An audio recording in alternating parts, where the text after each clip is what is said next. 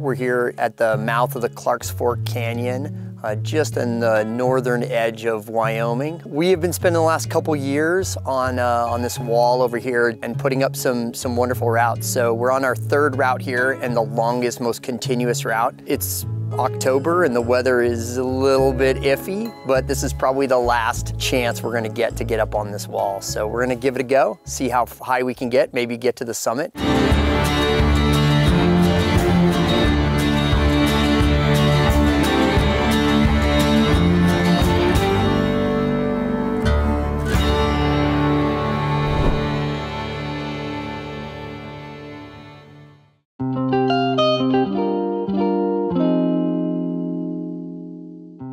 Park County, North Dakota, about uh, 25 miles along the Clarks Fork of the Yellowstone.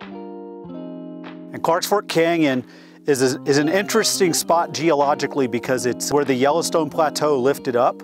So the limestone uh, that was on top of the plateau before it lifted has been tilted and it's left these big, beautiful slabs of rock that are about 2,000 feet long. It's a long route. I mean, we're pushing 2,000 plus feet of continuous climbing, which is awesome.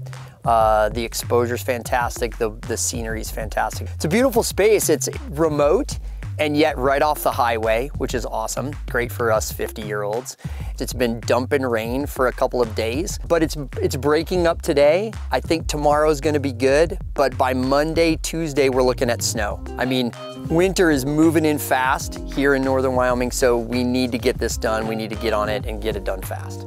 We do what is called a team-free ascent, and that just means one person climbs every individual section. And then the rest of us, we get there by whatever means we need to use. We're hauling lots of gear and heavy backpacks, so we'll ascend the rope that that first person has put up for us just to make our progress go much quicker because it's, it's a lot of work.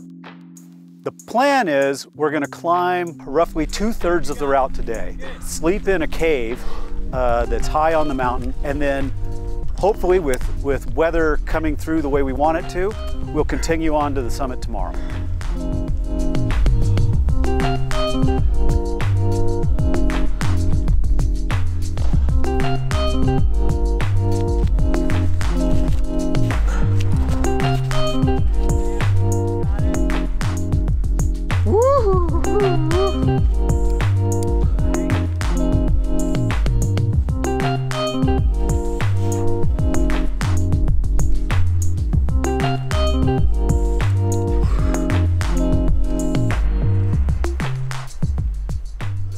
We just finished the hardest pitch. This pitch is about a 900, maybe a thousand feet up. And we know that unless we run into something we're really not expecting um, up real high, uh, we, have probably got it so that we have climbed this the way we want it done.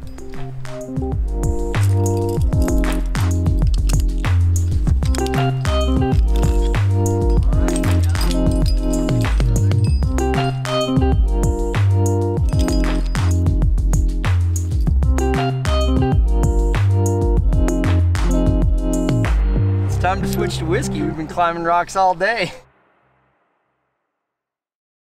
Well, we are in our small cave camp. We climbed 13 pitches to get here. So Mike taught me how to climb in 1989 and Sam and I have been climbing together since the early 90s. And a few years ago, honestly, I had really gotten out of the sport with having a child and Sam suggested that we once a year just get together and go do something. the first year we went and did something in the north of Dubois and then we had a four-year project in the Wind River Range.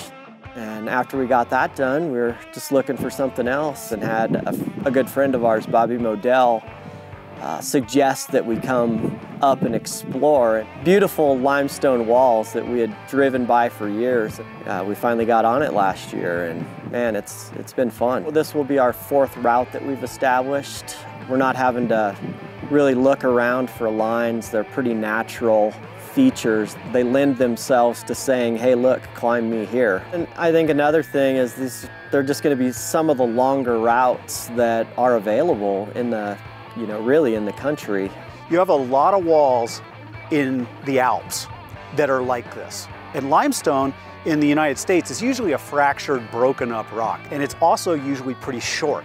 Now, we've got a lot of it in Wyoming, but mostly it's in, in small segments. And by small, I mean, you know, 80, 90, 100 feet high.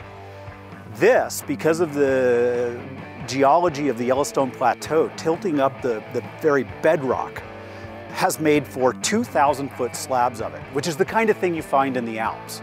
But this is one of the only places in North America you've got it. The features are amazing, it's bolted, it's set up for people to come out and just have a great day. Some of the routes you can climb with a handful of gear and a 70 meter rope. And it's not a big commitment issue because at any point when you decide that you're done for the day, you just can rappel back down. We've set it up that way. It's been a lot of effort, weeks and weeks of effort. This is sort of the culmination of that effort. I mean, we're now finally putting it together and putting it in one push from here to bottom to the top.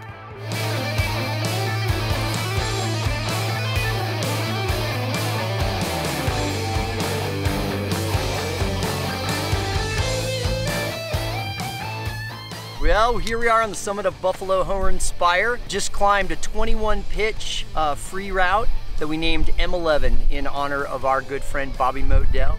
Good day all the way around. It's Great about day. 2 in the afternoon, 2.30, and uh, time to start heading down. It's kind of weird. My wife doesn't really understand it. All right, 2,100 feet to go down. We enjoy the hard work, we enjoy the climbing, but it's it's the camaraderie I think that really is why we're here.